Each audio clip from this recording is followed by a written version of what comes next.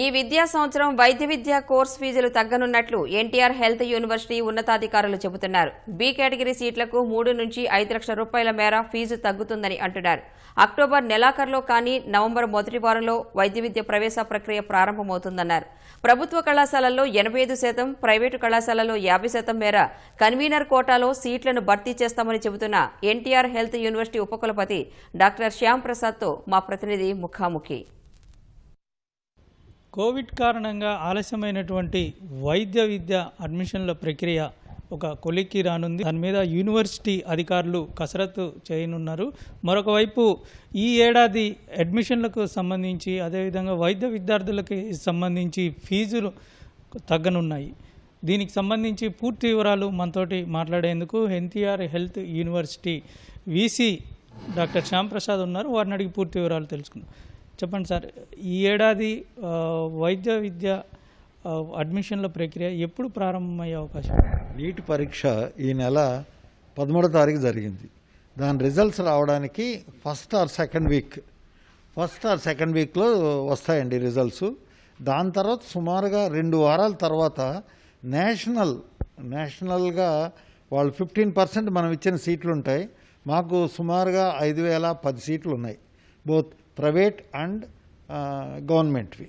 దీంట్లో మేము ఒక ఫిఫ్టీన్ పర్సెంట్ నేషనల్ దానికి ఇస్తాం. అంటే మూడు వందల డెబ్బై ఆరు సీట్లు. అవి వాళ్ళు ఫిలప్ చేసేస్తారు. అవి చేసిన వారం రోజుల్లో మేము మొదలు పెడతాం. ప్రాబబ్లీ ఎండ్ ఆఫ్ అక్టోబర్ కానీ ఫస్ట్ వీక్ ఆఫ్ నవంబర్ కానీ జరగవచ్చు ఎన్ని విడతలుగా ఈ కౌన్సిలింగ్ ప్రక్రియ జరగనుంది? మామూలుగా అంటే దీనికి ఎంసీ అంటే ఎంసీ అన్న పదం ఈ రోజుతో పోయింది. నేషనల్ మెడికల్ కౌన్సిల్ అని వచ్చింది. వాళ్ళ వాళ్ళ ప్రకారం ఏం చేస్తారంటే వాళ్ళు వాళ్ళే షెడ్యూల్ ఇస్తారు. అయ్యా మేము ముందు చేస్తున్నాం పదిహేను రోజులు తర్వాత పదిహేను రోజులు మీరు చేయండి ఇంకో పదిహేను రోజులు చేయండి ఇంకో పదిహేను రోజులు చేయండి. సో రెండు లేక మూడు విడతలు తప్పకుంటాయి ఇందులో. అందులో దీనికి ఎక్సర్సైజింగ్ మోస్ట్ ఇంపార్టెంట్ ఈజ్ దీంట్లో ఫీజ్ స్ట్రక్చర్ ఎంత ఉంటుందని. దాని మీద ఎక్సర్సైజ్ చేస్తున్నారు. జస్టిస్ దాని మీద ఆల్రెడీ ఏపీహెచ్ఈఆర్ కమిటీ ఉంది. ఆ కమిటీ దీని మీద ఎక్సర్సైజ్ చేస్తుంది. నాలుగైదు రోజుల్లో వాళ్ళు వచ్చేస్తారు. ఈ రిజల్ట్స్ రాగానే వాళ్ళు అవి చెప్తారనమాట అప్పుడు మేము ఒక జీవో ఇస్తాం. ప్రొసీజరల్ ఎలా చేస్తామని మీరు ఆల్రెడీ చూశారు దీన్ని పీజీలో చేశాము ఒక ప్రొసీజర్ ఇచ్చాము. దానికి యాభై ఆరు యాభై ఏడు యాభై ఎనిమిది అని మూడు జీవోలు ఇష్యూ చేసాం అలాగే ఒక జీవో కొత్త జీవో వస్తుంది. ఎట్లా స్లైడ్ అవుతారు? ఏది ముందు తీసుకుంటే ఎక్కడికి వెళ్ళాలి? పద్ధతి ఏంటి? ఖాళీ చేసిన ప్లేస్ ఏమిటి? మెరిటోరియస్ మెరిటోరియస్ స్టూడెంట్స్ ఉంటారు. ఎస్సీ ఎస్టీలో వాళ్ళు. వాళ్ళు ఎలా షిఫ్ట్ కావాలి అవన్నీ ఒక ప్రొసీజర్ ఉంటుంది. ఆ ప్రొసీజర్ గవర్నమెంట్ ఇస్తుంది. మేము ఆల్రెడీ ఏం చేయాల్సిందో పోయిన జరిగిన హై పవర్ కమిటీ మీటింగ్ ఒకటి జరిగింది. దాని గురించి ఆల్రెడీ మనం గవర్నమెంట్కి పంపించాము. దాంట్లో ఇద్దరు పెద్ద ఐఏఎస్ పీపుల్ ఉన్నారు ఇద్దరు జస్టిస్లు ఉన్నారు తర్వాత ఇద్దరు డాక్టర్లు ఉన్నారు. అందరూ కలిసి ఇచ్చిన ఇదనమాట దాని ప్రకారం కొత్త జీవో వస్తుంది. అయితే ఎంతకాలం పరిధిలో ఈ కౌన్సిలింగ్ ప్రక్రియ పూర్తయ్యే అవకాశం ఉంటుంది? అంటే ఒక్కసారి మొదలుపెట్టిన తర్వాత ఒక నెల నుంచి నెలన్నర లోపల అవుతుందండి. మనకు ఆల్రెడీ ఇది జరగాల్సింది రొటీన్గా అయితే జూలైలో పరీక్ష ఆగస్టు థర్టీ ఫస్ట్ లోపల జాయిన్ అయిపోవాలి. కోవిడ్ విషయంలో మనం పోయిన సంవత్సరం జాయిన్ ఫస్ట్ ఇయర్కి ఇంకా ఎగ్జామ్ పెట్టలేదు. కాబట్టి మనకి అక్టోబర్ కానీ నవంబర్ కానీ అవుతుంది. తప్పదు మరి మూడు నాలుగు నెలలు పోవడం. అందులో కొత్తగా ఇప్పుడు CBME competent based medical education అని ఒకటి స్టార్ట్ చేసాం పోయిన సంవత్సరమే. ఇప్పుడు కొత్తగా మెడికల్ మిషన్ వచ్చింది ఈ రోజు నుంచి. సో వాళ్ళ అనుమతులు తీసుకుంటూనే ఏం చేయాలన్నది వాళ్ళే పబ్లిష్ చేస్తారు. మేము ఫాలో అయిపోతుంటాం. ఫీజులకి సంబంధించి ఏడాది పీజీలో భారీగా తగ్గాయి. అదేవిధంగా ఎంబీబీఎస్కి ఎలా ఉండబోతుంది? ఎంత మేర తగ్గే అవకాశం ఉంటుంది? మామూలుగా రెండు మూడు లక్షల నుంచి ఐదు లక్షలు మ్యాక్సిమం తగ్గించవచ్చండి పోయినసారి పదమూడు లక్షలు ఎంతో ఉండింది. పది ఉండొచ్చు ఎనిమిది ఉండొచ్చు అలా ఉంటాయి రేంజ్లు. అంటే వాళ్ళు దానికి ఎంత పర్సంటేజ్ వల్ల లెక్కేస్తారు? వాళ్ళ ఖర్చులు ఎంత? ఒక సీటుకి ఒక ప్రైవేట్ మెడికల్ కాలేజ్ ఎంత ఖర్చు పెడుతున్నా లెక్కెడతారండి. ఆ ఓవర్ హెడ్స్ మీద అందరి మీద డివైడ్ చేసి ఈ ఐదు వేలు క్యాండిడేట్స్ డివైడ్ చేసి ఇంతమంది కడితే సరిపోతుందని లెక్క పెడతారు. అలా మన జస్టిస్ ఈశ్వరయ్య గారు చేస్తున్నారు.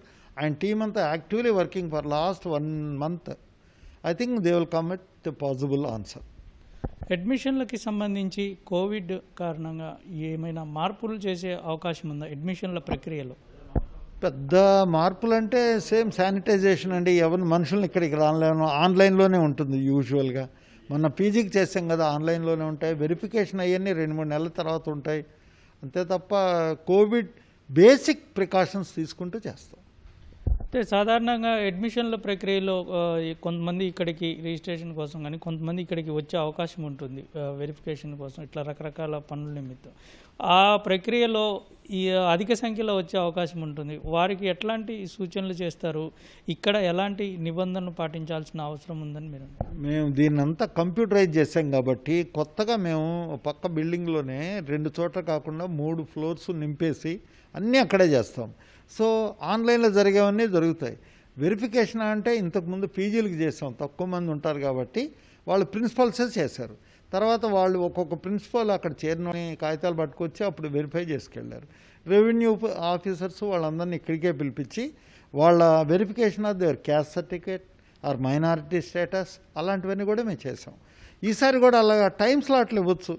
తప్పే ఉంది. ఎక్కువ మంది అవుతారు కానీ టైం స్లాట్లు ఉంటాయి. ఒక్కొక్క అరగంటకు ఒక్కొక్కటి పిలుస్తాం.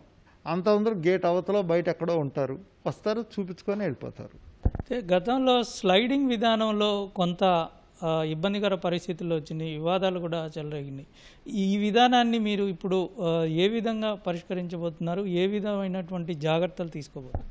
ఇప్పుడు గవర్నమెంటే మాకు ఒక నిర్దేశిస్తుంది అంటే ఇలా చేయమని. మొన్న మన కొత్త వచ్చిన జీవో చూశారు మీరు యాభై ఆరు యాభై ఏడు యాభై ఎనిమిదిలో. దాంట్లో ఏమిటంటే మెరిటోరియస్ స్టూడెంట్స్. ఫస్ట్ వాళ్ళందరూ ఎవరు సీట్లు ఉన్నారో అన్నింటిలో నింపేస్తారు. తర్వాత వాళ్ళు ఎవరు స్లైడ్ కావాలని వాళ్ళకి చెప్తారు. ఆ స్లైడ్ అయిన దానికి ఒక్కసారి వెళ్ళిపోయి ఒకసారి రీజాయిన్ కాకపోతే అది ఓసీ అయిపోద్ది.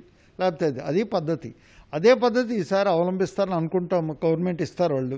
ఏ ప్రొసీజర్ ఇస్తే దాన్ని మేము అలా చేయడానికి మా ఇష్టంగా నిలబడి నిలబడినాం మరొక వైపు వైద్య విద్య అటువంటిది చాలా వ్యయంతో కూడుకున్నది.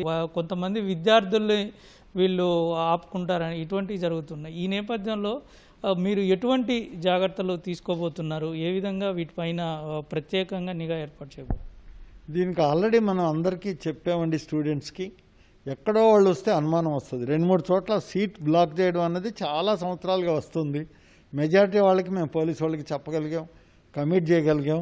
అట్లాంటి వాళ్ళు మళ్ళీ మళ్ళీ వస్తే వాళ్ళ ర్యాంక్ నెంబర్ అది చెప్పి ఒక రెండేళ్ళు మూడేళ్ళు మళ్ళీ ఎగ్జామ్ రాయకుండా ఆపడానికైనా ప్రయత్నం చేస్తాం. మీకు ఏమన్నా అనుమానం ఉంటే ఒక చిన్న లెటర్ మాకు పెట్టండి. మేము దయచేసి దాన్ని ఎగ్జామిన్ చేసి ఆ వ్యక్తి ఎక్కడి నుంచి వచ్చాడు ఎందుకు వచ్చాడు అన్నీ కనుక్కొని వీలైనంత వరకు న్యాయం చేయడానికి ప్రయత్నం చేస్తాం. అడ్మిషన్ల ప్రక్రియ అంతా అయిపోయిన తర్వాత కొంతమంది విద్యార్థులు సీట్ క్యాన్సిల్ చేసుకొని వెళ్ళిపోవటం ఇటువంటివి జరుగుతుంటాయి. వాళ్ళకి అలా కనుక జరిగినట్టయితే జరిమానా విధించడం ఇటువంటివి చేస్తున్నాం. ఎంతమందికి ఈ విధంగా విధించి ఉంటారు? ఏ విధంగా జరుగుతుంది? లాస్ట్ ఇయర్లో ఇప్పుడే లెక్కేసామండి. మేము సుమారుగా ఆరు ఏడు మంది వెళ్ళిపోయారండి. సెవెన్ పీపుల్ అనుకుంటాను ఎంబీబీఎస్లో. వాళ్ళకి ఇంకెక్కడో సీట్ వచ్చింది. లేట్గా ఇక్కడ కూడా జాయిన్ అయిపోయారు. కానీ అక్కడ జాయిన్ కావడానికి త్రీ ల్యాక్స్ ఇక్కడ మా పెనాల్టీ కట్టేసి వెళ్ళిపోయారు అన్నమాట. ఇది ఎన్టీఆర్ యూనివర్సిటీ వీసీ శ్యామ్ ప్రసాద్ గారు చెప్తుంది. కెమెరామెన్ భాస్కర్తో జయప్రకాష్ ఈటీవీ న్యూస్ విజయవాడ.